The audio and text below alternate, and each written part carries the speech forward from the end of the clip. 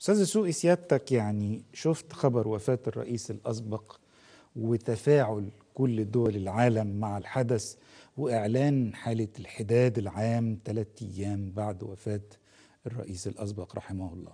طيب خليني أقول لك إن النهارده هلعب دور النادي الإسماعيلي. بمعنى؟ يعني إحنا مشكلتنا كلنا في مصر يا جماعة الحقيقة إنه لازم اللعبة تمشي أهلي وزمالك في أي قضية سواء كورة سياسة طب اقتصاد حتى في النكتة لازم تمشي أهلي وزمالك لازم نمشي فريقين عاوزين نقطع بعض والدنيا كلها منسية. عشان كده دايما دايما طول ما الإسماعيلي نادي بخير تلاقي الكورة مصر في مصر ماشية بخير. فبالتالي المشهد السياسي محتاج ناس منها تكون الإسماعيلي المشهد الاقتصادي كل المشهد الاجتماعي كمان لازم محتاج إنه يبقى في نادي الإسماعيلي يبقى في رأي واضح وصوت مسموع بعيد عن العواطف وبعيد عن الحقد وبعيد عن الغل وبعيد عن المصالح الشخصية. فخلينا نلعب النهارده دور إحنا نادي الإسماعيلي.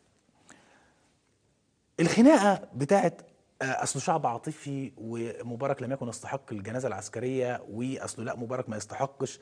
لا ده اللي حصل النهارده مع مبارك انتصارا واعلانا لوفاة ثورة 25 يناير هو مين اللي خرج يا جماعة؟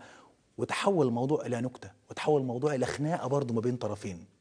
وهو ده اللي بيحصل دلوقتي طول الوقت في مصر. أي حدث يحصل في البلد دي حلو أو وحش لازم يحولوه لخناقة. لأنه من زمان وهفضل أقول لك تاني يا أستاذ عادل الهدف الرئيسي مش أي حاجة من اللي بيحصل حوالينا غير إنه الشعب ده يتقسم. مسلم مسيحي فشلت صعايده وفلاحين فشلت مش عارف إيه فشلت أهلي وزمالك بتفشل. فبالتالي أي خناقة واي قضية لازم تحول إلى فريقين علشان نولع الدنيا.